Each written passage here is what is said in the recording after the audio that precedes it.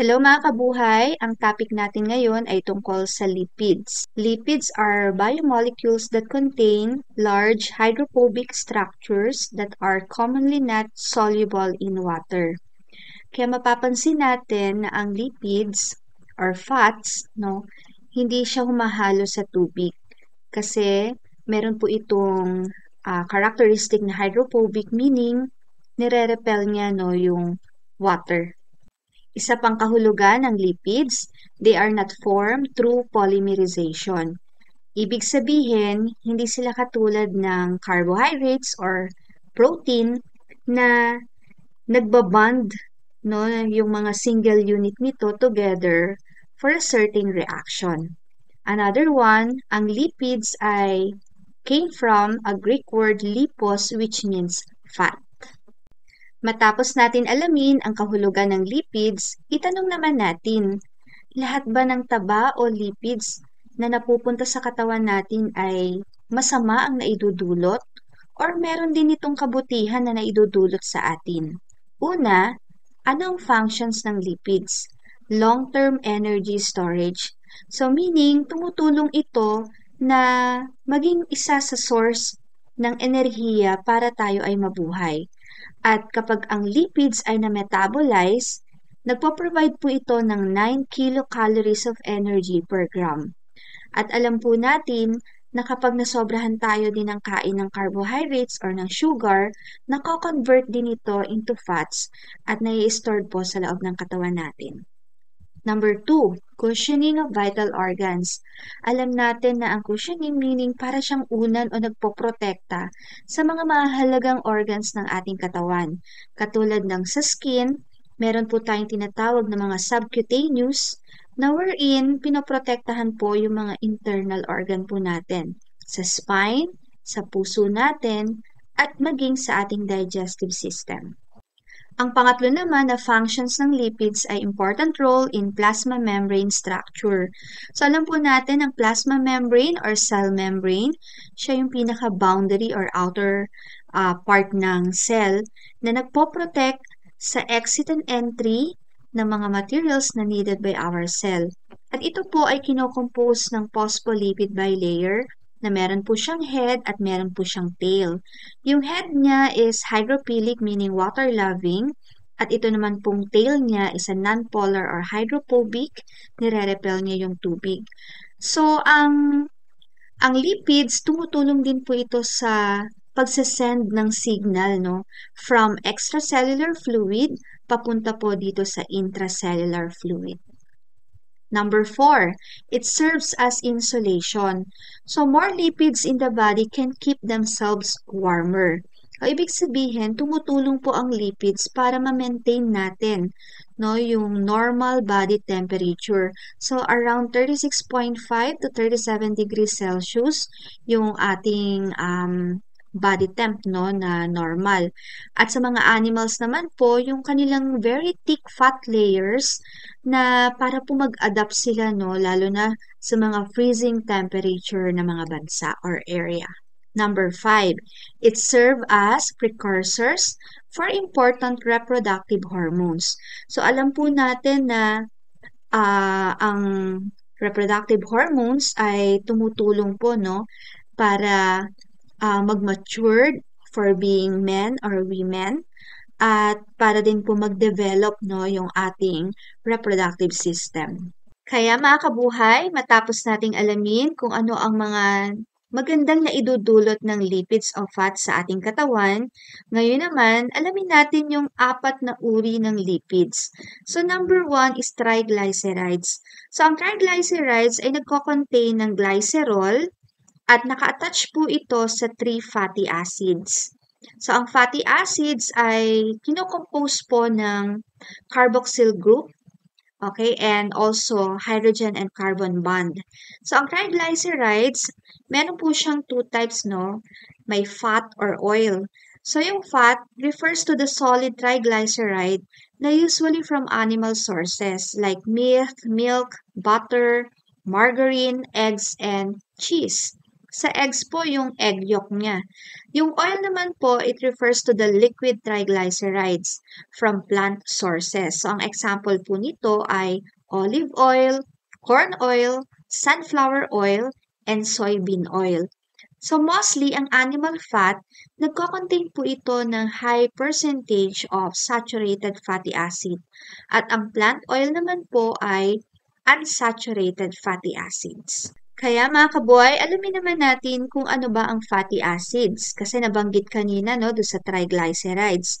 So ang fatty acids are long chain of carboxylic acids that are insoluble in water. At ang fatty acids can be saturated or unsaturated. At ang mga saturated fatty acids sila po yung nagko-contain ng hydrocarbon chain. At ang unsaturated naman, nagko-contain po ito ng mga double bonds. So, alamin po natin.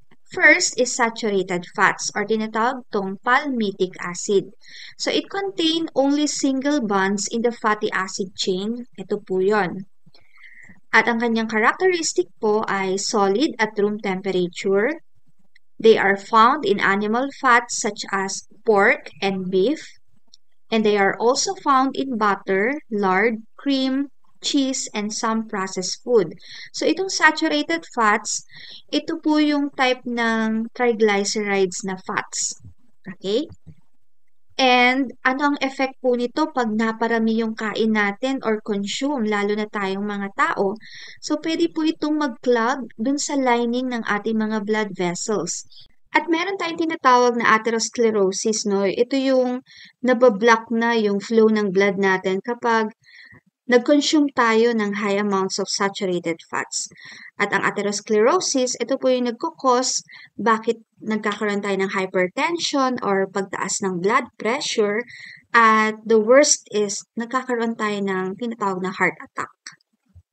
Okay, the second types of fatty acids is unsaturated fats or tinatawag nating oleic acid.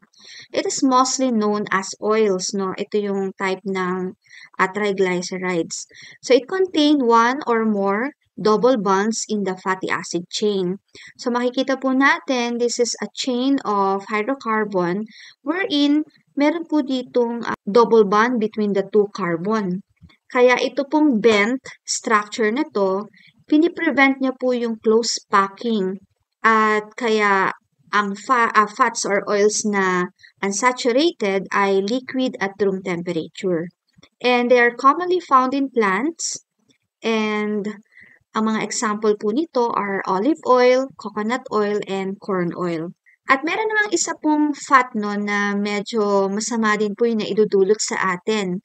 Lalo na makikita po ito sa mga processed food or sa mga fast food which is the trans fat. So ito po yung nag-undergo ng artificial no, na process through hydrogenation. So ano ba ang naidudulot ng trans fat sa body po natin? So first, usually po no, trans fat are also more unhealthy than regular and also like unsaturated fat. So, kung i-compare po natin, medyo unhealthy nga po yung trans fat. At alam po natin na meron po tayong dalawang cholesterol, no? Isa din po yan sa dahilan bakit tumataas yung cholesterol natin. So, meron po tayong HDL or the high density lipoprotein which is a good cholesterol. Kasi nire-return back po niya no, yung mga excess cholesterol to the body's liver for processing. And yung LDL naman po is the bad cholesterol which is the low density lipoprotein na tinatransport naman po niya yung cholesterol throughout the body. Kaya po itong um, LDL, ito po yung nagiging dahilan pag tumaas to no, na nagbi-build no, yung cholesterol sa mga walls ng ating mga body arteries. At yun na po, pag nag-harden na po yun at mag-narrow, no, i-reduce niya or iba-block niya rin yung blood flow. Kaya yung iba po, ito yung nagiging dahilan din, katulad ng atherosclerosis na nagkakaroon po ng heart attack or tinatawag nating stroke. The second type of uh, lipids is phospholipids. So parang yung katulad kanina po na makikita po ito sa cell membrane or the plasma membrane. At mostly, ito pong phospholipids are lipids with a phosphate group.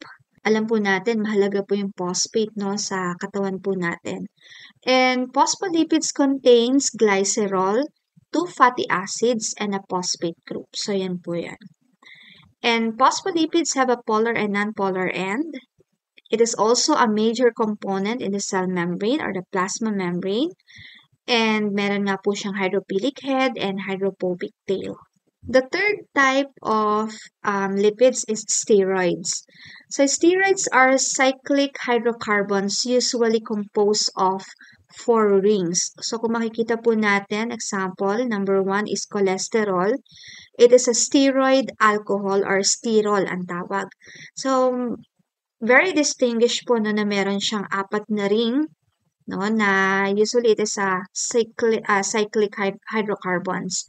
And cholesterol formation usually happens in major organs such as the brain and the blood vessels. And they are also major components in the formation of bile salts and gallstone. So alam po natin na yung kanina, discuss natin no, na yung cholesterol, merong pong bad, which is the LDL, at meron naman pong good, which is the HDL. Number two na under po ng steroid is the sex hormones. So, ano-ano ba yung mga example ng ating mga sex hormones? Like, sa lalaki po, we have the testosterone. So, very responsible po ito for lowering voice pitch, lumalaki yung boses ng lalaki, no?